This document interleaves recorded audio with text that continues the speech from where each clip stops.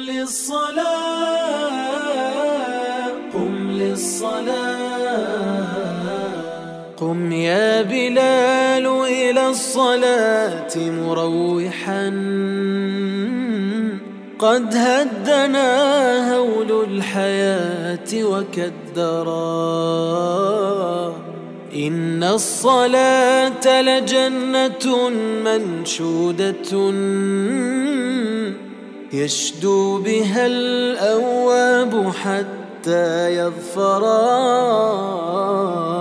هي رحلة القرب التي قد قربت. آه هي راحة فاظفر بها مستبشرا.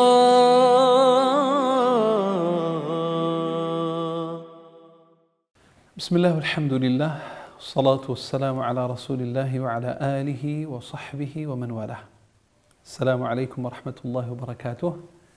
في حلقة جديدة من حلقات رحلة القرب وهي محطة من محطات السير. كلما استوعب الإنسان أن هذه الرحلة لها مقام وترتقي ويرقى بها في سلم الوصول إلى الله عز وجل. وهو سائر يا أيها الإنسان إنك كادح إلى ربك كدحا فملاقي. هذا السير.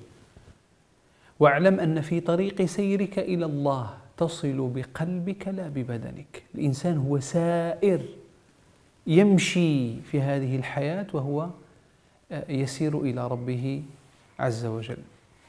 فهذا السير إلى الصلاة وأنت تمشي كما قال ذاك الصالح وآتي بالسكينة وهو يأتي رويدا رويدا يستشعر أنه قادم إلى سيده وسيدخل بيت سيده وسيلاقي سيده. يسأله يطلب منه كل كل شيء. الأمر الآن الذي هو لا بد أن نستشعره وهو هذا الوقوف بين يدي ربنا. الوقوف الذي هو بين يدي ربنا. فهذا الوقوف تقوم له وهذا الأولى وتكبر تكبيرة الإحرام. هذه الهيئة هيئة التحية. وأنت تدخل بالتعظيم تستشعر بين يدي من ستقف. أتدرون بين يدي من سأقف؟ بين يدي من ستقف؟ ستقف بين يدي الحي القيوم الذي لا تأخذه سنة ولا نوم ستقف بين يدي من عنده مفاتح الغيب لا يعلمها إلا هو. ستقف بين يدي الرحمن الرحيم الملك المالك الجبار المتكبر. استحضر ما شئت من من أسماء أسمائه الحسنى وصفاته العليا سبحانه.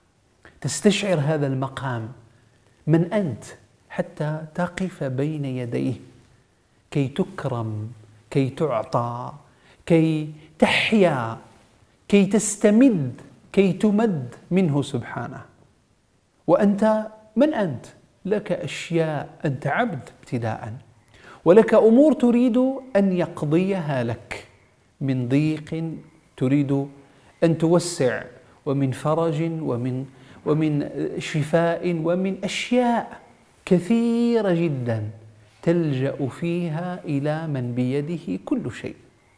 تستحضر هذا الوقوف أنك تهيئ وهذا من تمام التهيئة أنك تتهيأ نفسيا بين مقام تعظيم وإجلال وبين مقام استحضار المنة والفضل منه.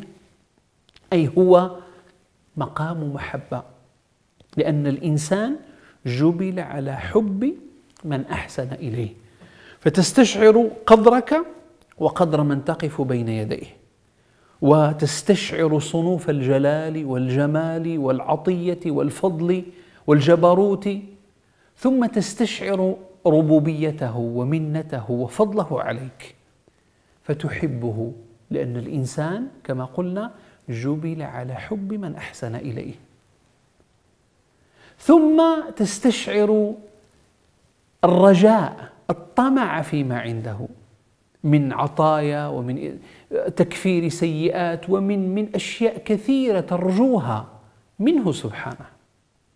ثم تستشعر وهذا مقام قلبي خوفك منه لأنك مقصر في حق النعمة في شكره في عبادته مذنب عاص لو إن لم يرحمك فمن يرحمك.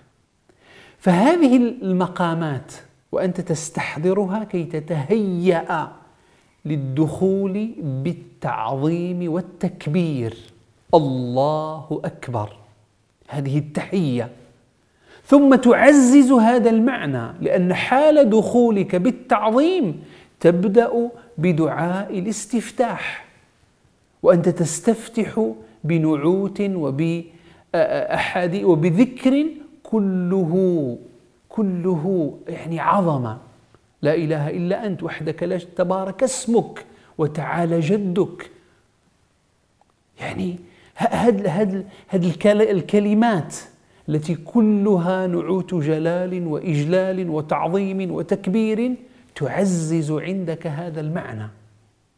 وقبلها لابد أن تبسمل فالبسملة تذكرك بأصلك فهي استئذان وتوكل.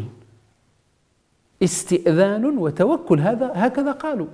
قال أهل العلم تستأذن فأنت فقير فأنت تحتاج إلى إذن سيدك ثم تتوكل طلبا طلبا لجلب المنافع.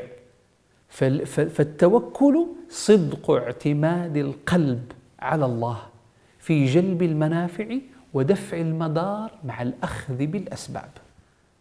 فأنت تريد أن تستمد وأن تمد وأن تحيا بهذه الصلاة وأن تؤديها كما أراد ربنا.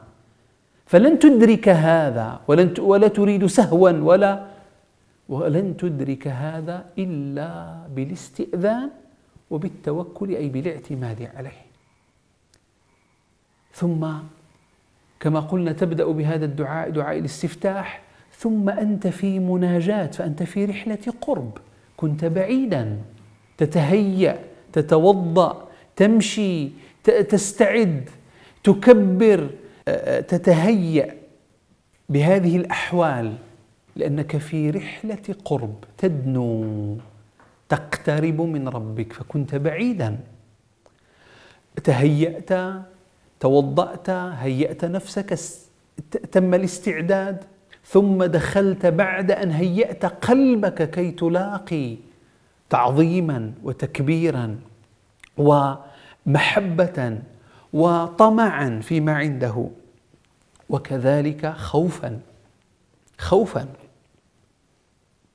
ثم تبسمل استئذانا وتوكل. الله أكبر. شوف هذا التكبير الذي يتكرر ويعاد في هذه الصلاة. تكبر ثم دعاء الاستفتاح وكله جلال تصف الله بهذه الأوصاف. ثم تدنو. فأنت لما دنوت منه سبحانه لا تريد مشوشا فاللقاء فيه مناجاة فيه قرب. فالذي يشوش عليك عدوك فتستعيد وتلجأ بربك أو إلى ربك كي يحميك ويبعد عنك وساوس هذا هذا الشيطان الذي يعني هدفه أن يصرف أن يصرف عنك المدد والأنوار والعطايا الربانية. فهذه كلها معاني فتقول أعوذ بالله من الشيطان الرجيم. ثم تشرع في الفاتحة. فتح لك. الآن دخلت بدأت في رحلة المناجاة. بدأت تخاطب وحديث الصلاة واضح جلي.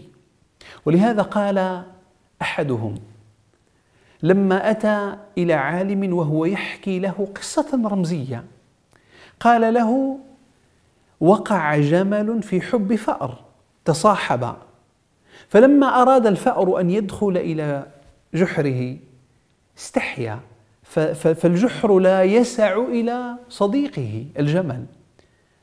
فرد عليه الجمل قائلا يا هذا إما أن تحب على قدرك أو أن تهيئ مقاما على قدر من تحب. فالتقفها ذلك العالم الرباني وقال فاعلم يا هذا إما أن تصلي صلاة على قدرك أو أن تصلي صلاة على قدر من تقف بين يديه. هو مقام تعظيم وتكبير وإجلال له سبحانه. أتدرون بين يدي من ستقف الآن؟ اللهم اجعلنا من المصلحين الذين يمسكون بالكتاب وأقاموا الصلاة في رحلة قرب إليه وبه سبحانه. والحمد لله رب العالمين. قم للصلاة قم للصلاة. قم يا بلال إلى الصلاة مروحا. قد هدنا هول الحياة وكدرا.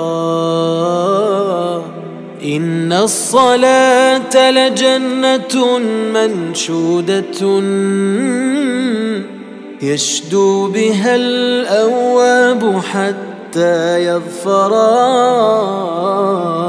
هي رحلة القرب التي قد قربت. آه هي راحة فاظفر بها مستبشرا.